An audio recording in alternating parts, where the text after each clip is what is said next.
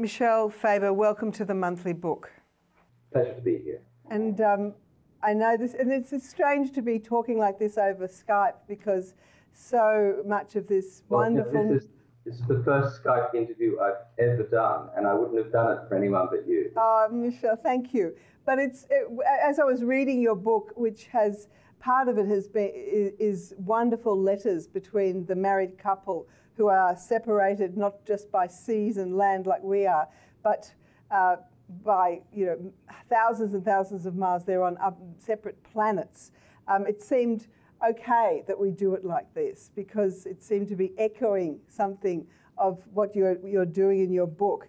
Um, the book, you know, the, the book is called um, A Book of Strange New Things, in which a Christian missionary, Peter Lee, applies for a, a posting with a company called USIC, USIC, uh, sends him off to a different planet. They call it Oasis, and his job is to uh, preach to an alien life form, the Oasans. Um, they're very, very receptive to Christianity because they've previously been um, uh, introduced to Christianity by the missionary that was there before, Peter Lee. Um, so he leaves his. Kurtzberg is the name of the of the missionary who was there before. Mark Kurtzberg, in fact. Yeah. And I'll talk to, about him in, in a few minutes. But um, he's very close to Beatrice, his wife. It seems to it's going to be not for very long. They have to be separated, but uh, he takes off. And from the things I know about you, things I read about you, you're a bit like Peter. He says he's not good with gadgets at one stage. Um, you wrote yourself about um, how Brian Eno wrote some music for your reading of one of your short stories, and you were in cassette mode still when podcasts had been invented. And I wondered at your audacity uh, in writing about interplanetary travel, uh, new biology, imagined life forms. Did you think you had to imagine how these things actually worked as well as the what of it? Did you have to imagine the how, or did you not care no. about that? No. And, and I think that if there's anything that sets this book apart from um, science fiction, if you like, it's that I'm completely uninterested in the how of it.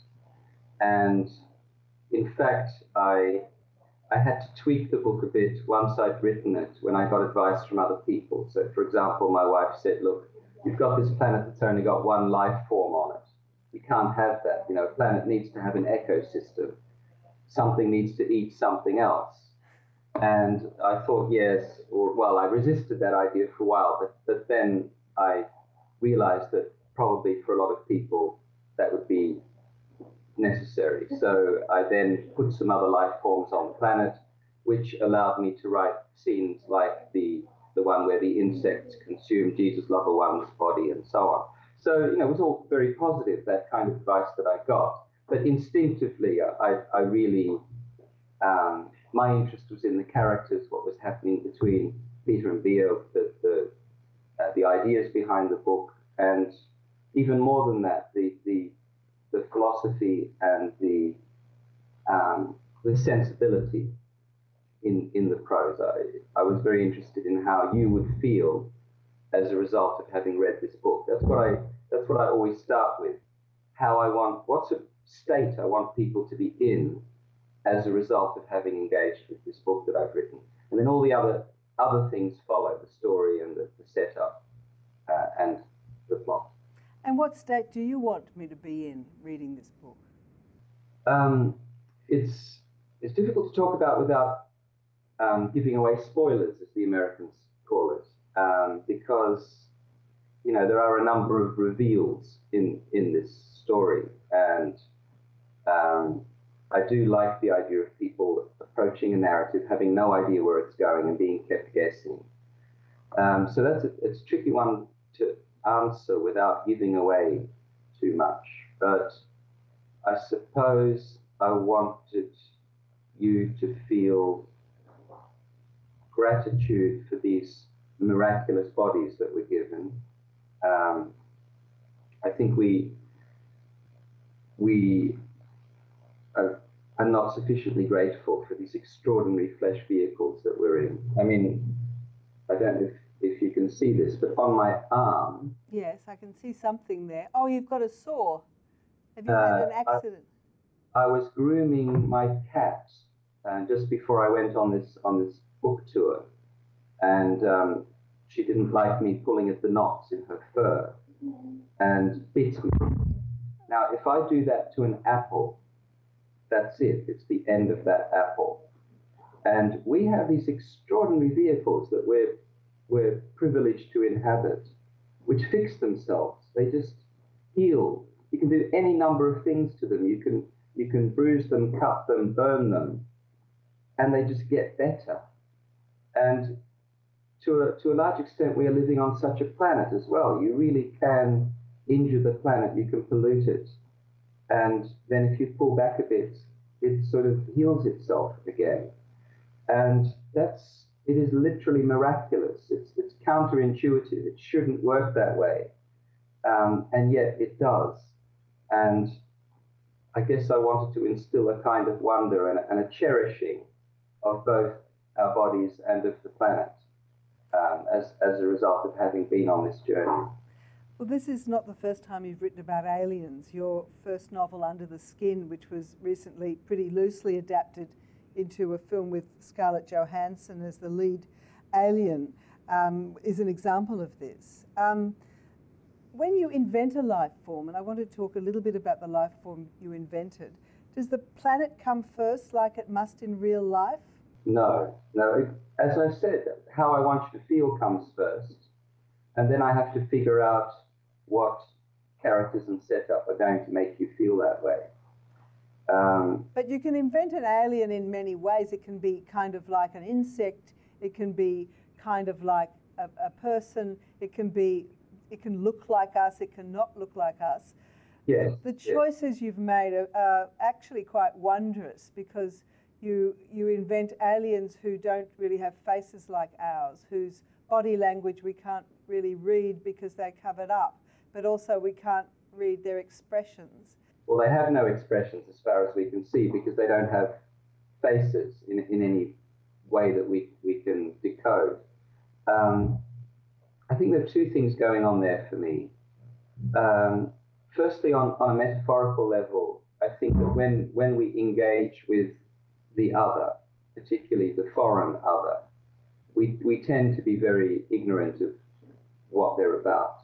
I mean, it's, it's extraordinary the way we can, for example, mount a multi trillion dollar invasion of, of, of another country um, in order to effect regime change or kill people or whatever our agenda is there, um, without speaking language, without knowing who these people are and what they're thinking. So uh, there is an enormous amount of alienness in, in our own world. And I I didn't want to have aliens such as you often encounter in mainstream science fiction, the, the sort of Babylon 5 thing, where the alien speaks like a, a, a diplomat or something, live well and prosper, or you know, that kind of thing.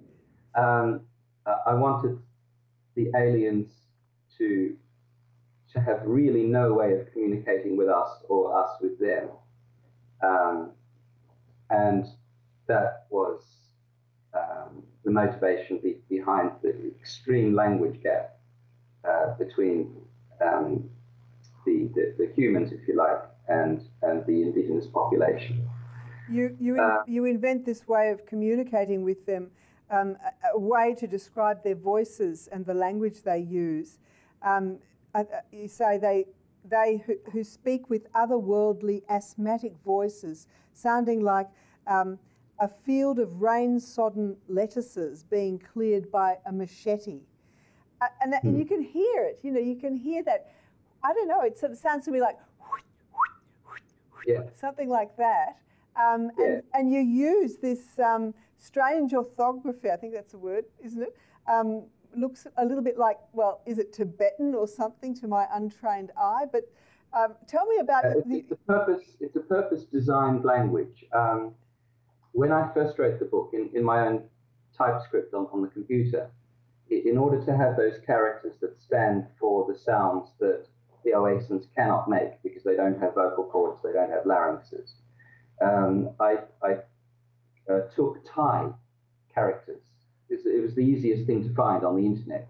So whenever there was an S sound or a T sound or a CH sound, I would put a, a Thai character. Uh, and you know, the purpose there is that it's not an alphabet in as we know it. So it is very alien to our eyes. But because I know that there's Thai people out there in the world, and I, I don't want to risk, you know, one of these characters meaning your grandmother or something.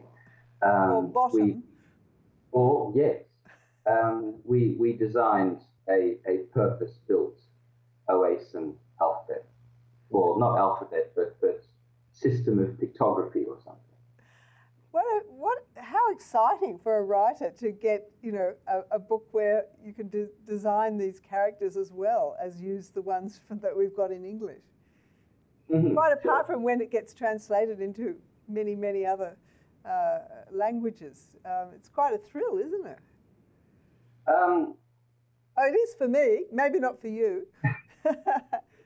without wanting to, to throw a dampener on, on, on our interview, the, the, the whole notion of what is a thrill and what isn't has it's become complicated for me recently because I don't know if you know, but my wife Eva died. I know, yeah. Uh, she she died in July, and you know, ever, ever since then, everything exciting or or um, nice in in my life uh, there is there is that poignant sense that that she's not there to share it with me, and we we shared everything. Yes. So. Um, I'm enjoying sitting here talking to you, seeing you after whatever it is, 12 years since we last saw each other. But obviously, I'm feeling very sad that Eva isn't sitting here next to me, yes. also seeing you. And I, I feel that way about every aspect of what I'm going through now the publication of the book, how beautiful the cover of it is, you know, all, all those things which would have given me um, unalloyed pleasure before. It's now mixed. Mm. Well, the book, I mean, you were writing it um, while she was not well, um, and it's also about distance and how a couple who are so used to doing everything together and having experiences together and being able to think about what they mean together and create a history with each other together, and how they would find it hard to maintain their closeness if their lives are diverging and, and uh, Bea is uh, back on Earth and all kinds of social and environmental catastrophes are being dealt with by her, while Peter is in this strange and wondrous and utterly consuming landscape.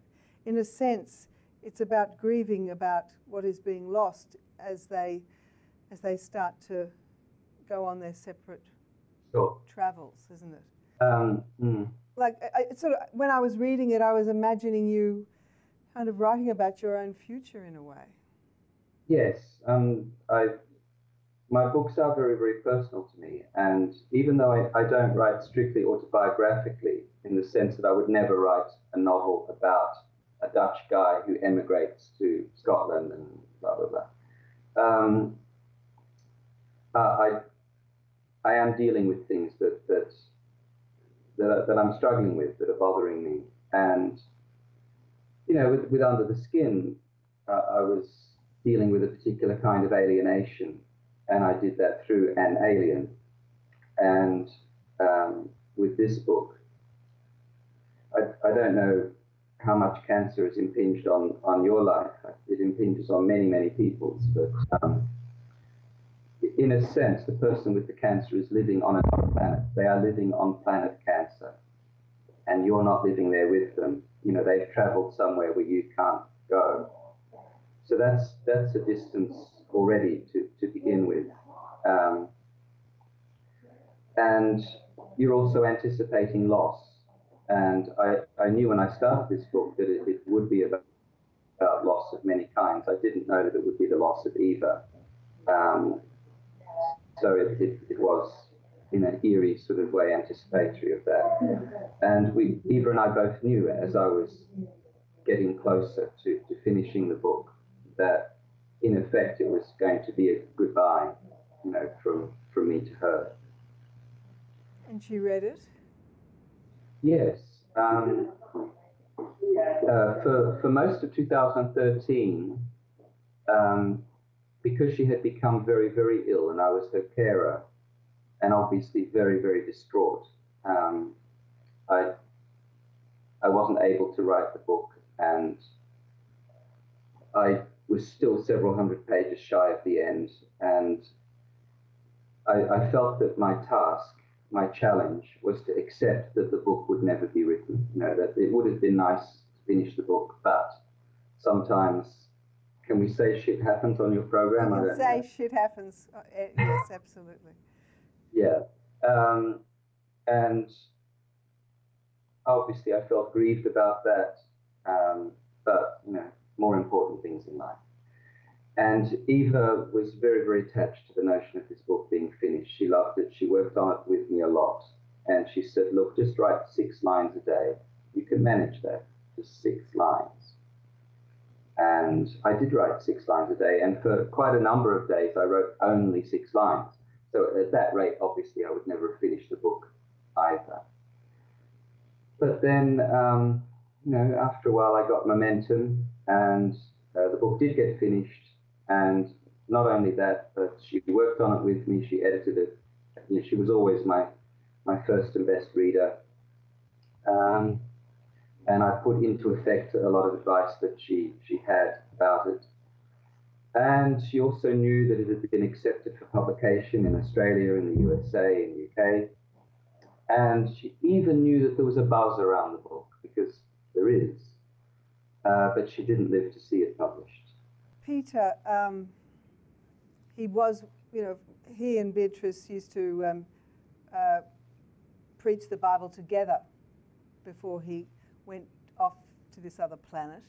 Um, and he arrives, and as you said, um, Mark Kurtzberg had been there before him, the previous preacher. Um, Yes. And Mark Kurtzberg was the one that did the, um, the first work on translating the book, Yes. um, which is the Bible. And um, I, it just reminded me of um, I, I was once in Central Australia and, and interviewing some Bible translation people there.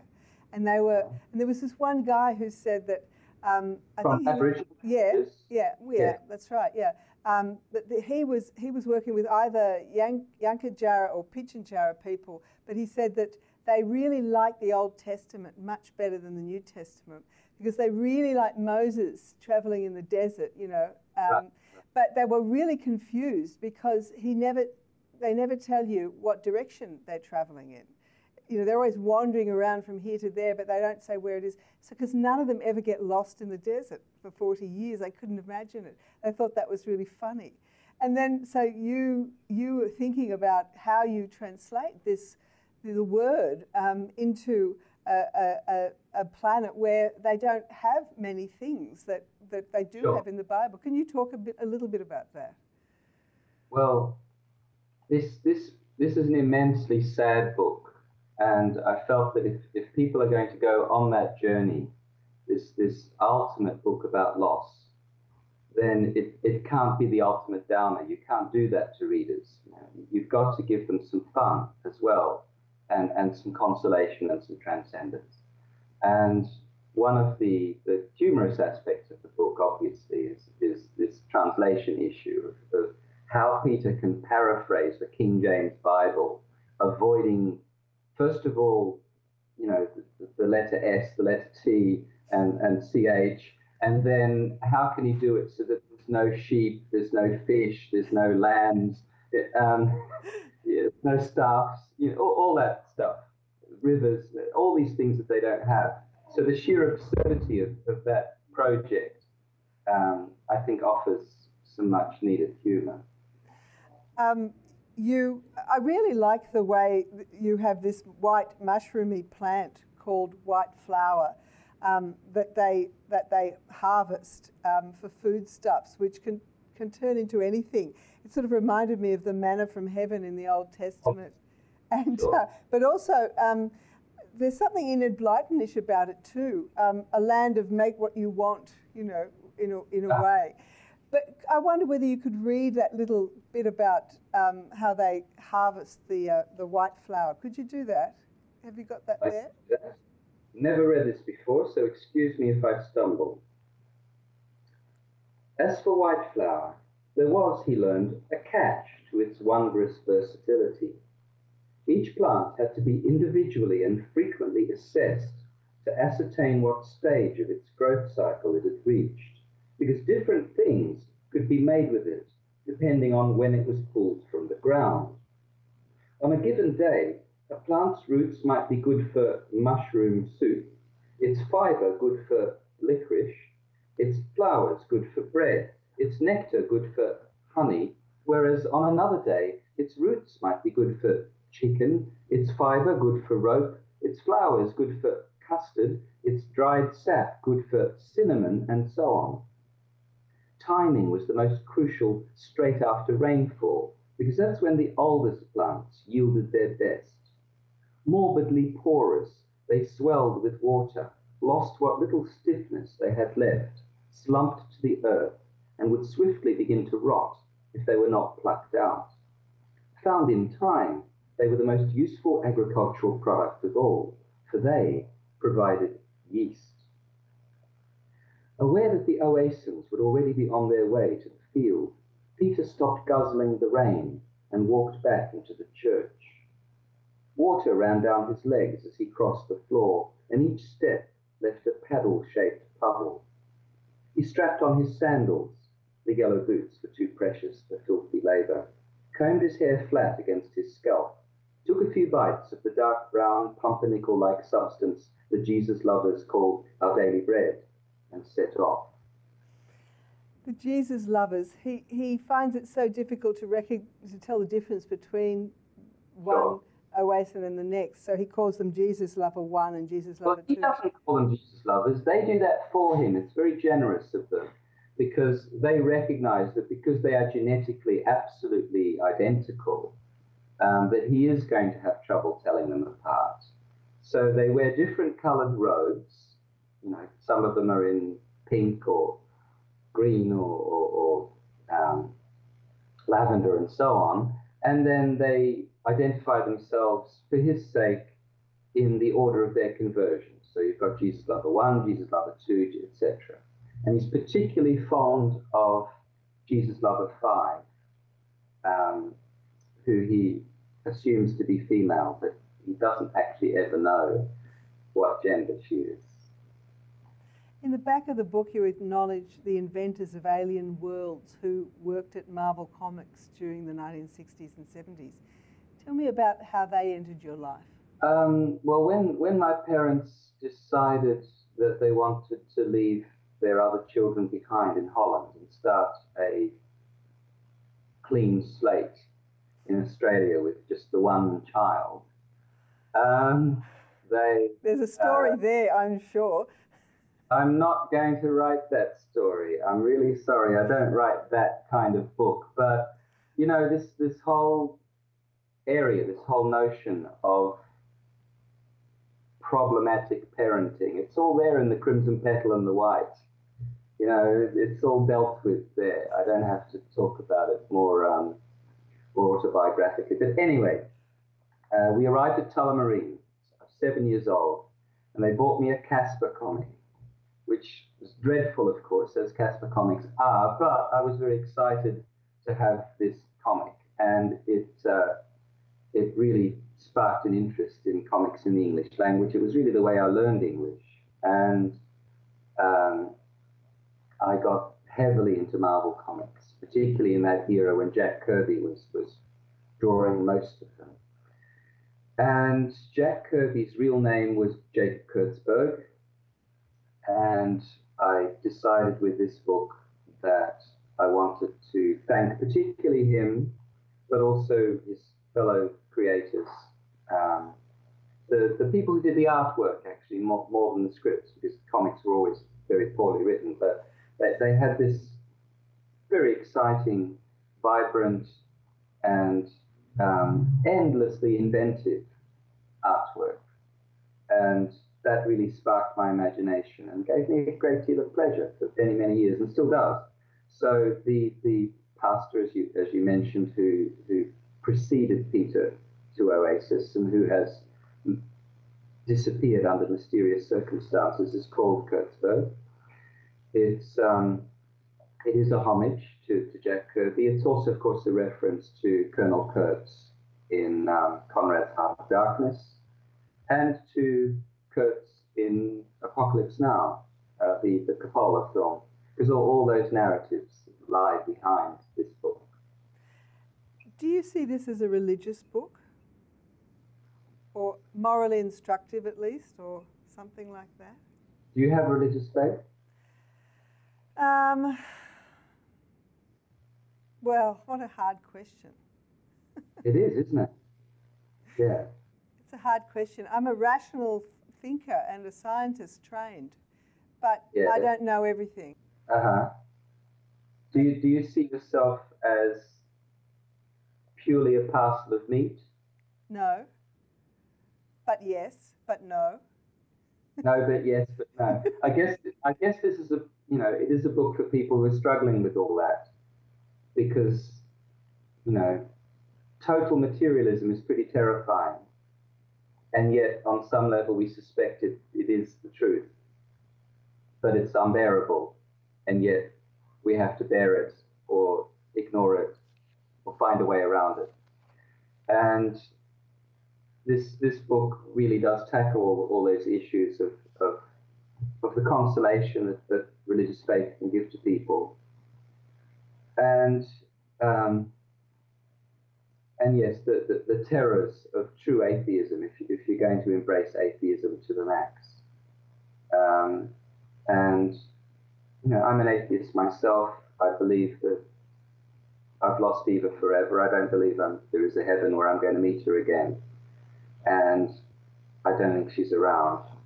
But that's, it, it is actually intolerable.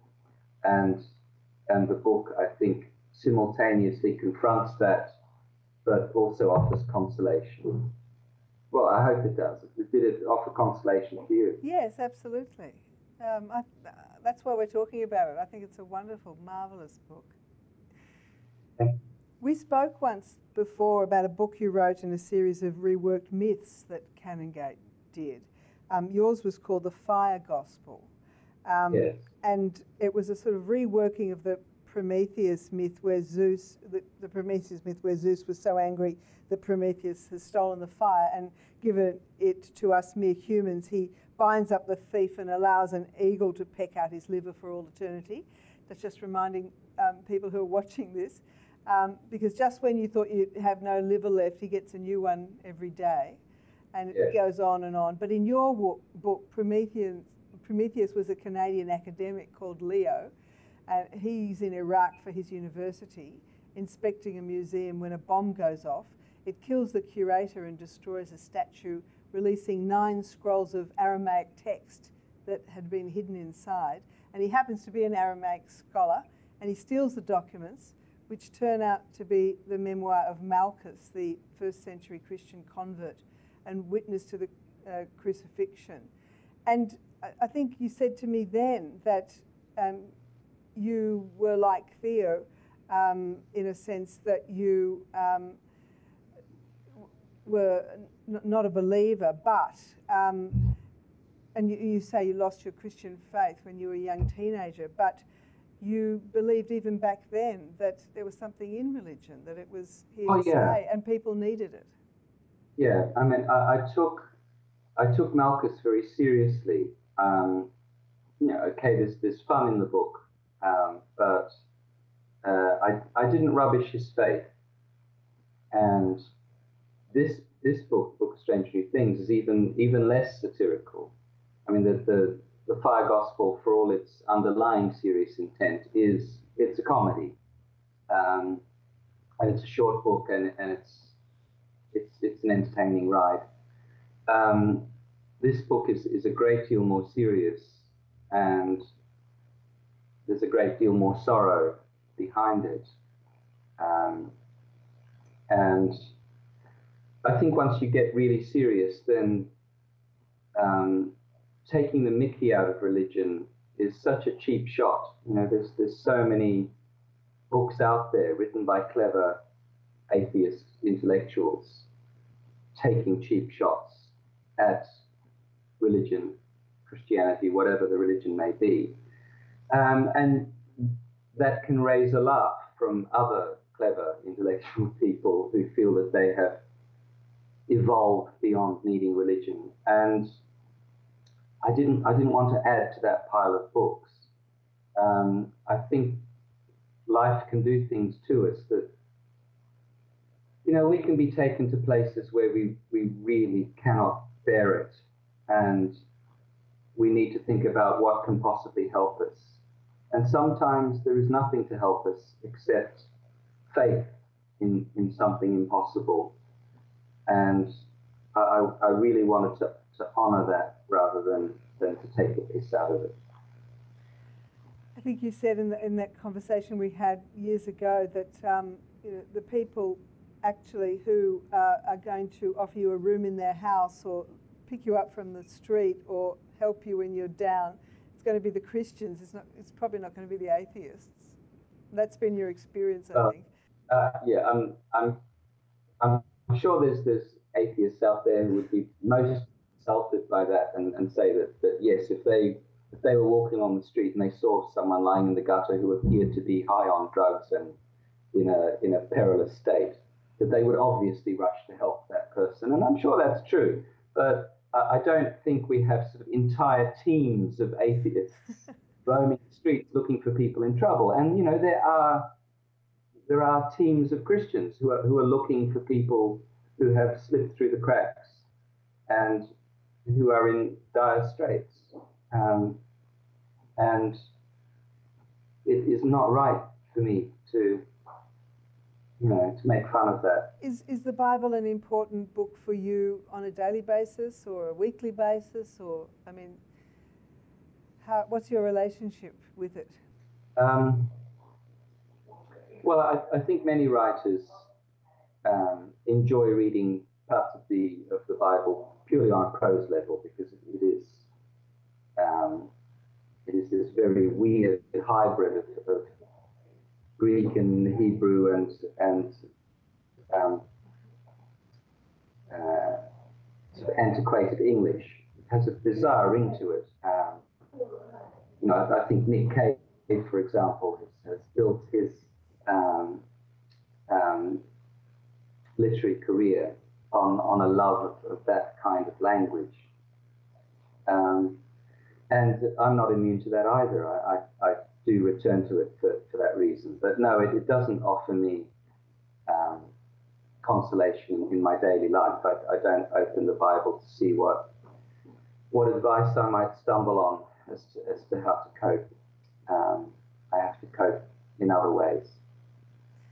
Michel, I read that you say you've written your last novel, that this will be your last novel.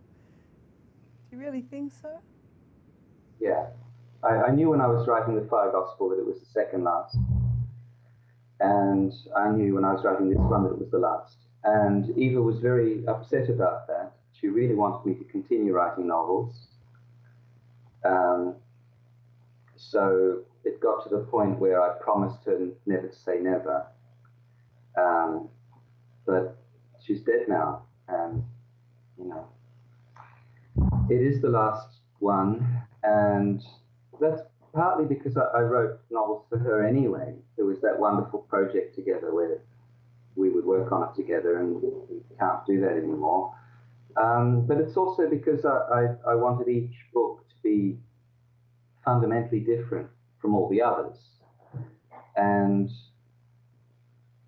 there's only a certain number of times that I can pull that off before I start repeating myself.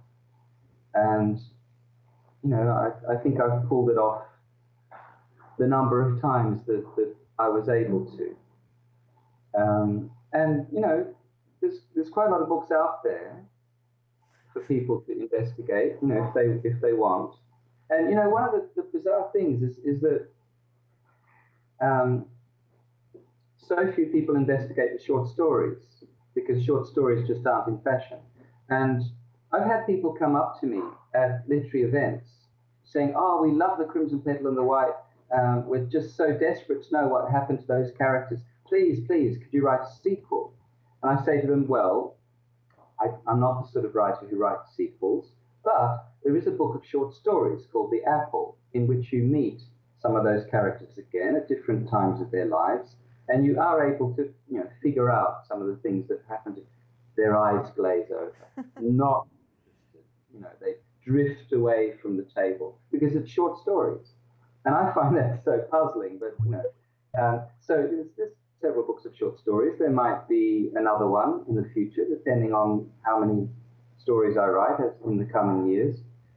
Um, and there's a number of novels. So if people want to read all my work, it can keep them busy for quite some time. And I never wanted to be the sort of writer who just puts books out because that's my job. Um, I felt that I had a mission, if you like, to, to bring a certain number of special things into the world. I think I've, I've done that. And it's time for me to do something else. What will it be? Right now, I'm, I'm writing poetry um, dealing with the grieving of, of losing Eva. Um, that's very in your face poetry. Um, I'll have to think very carefully if I want to put that out there into the public. But at the moment, that's what is suggesting itself for me to write.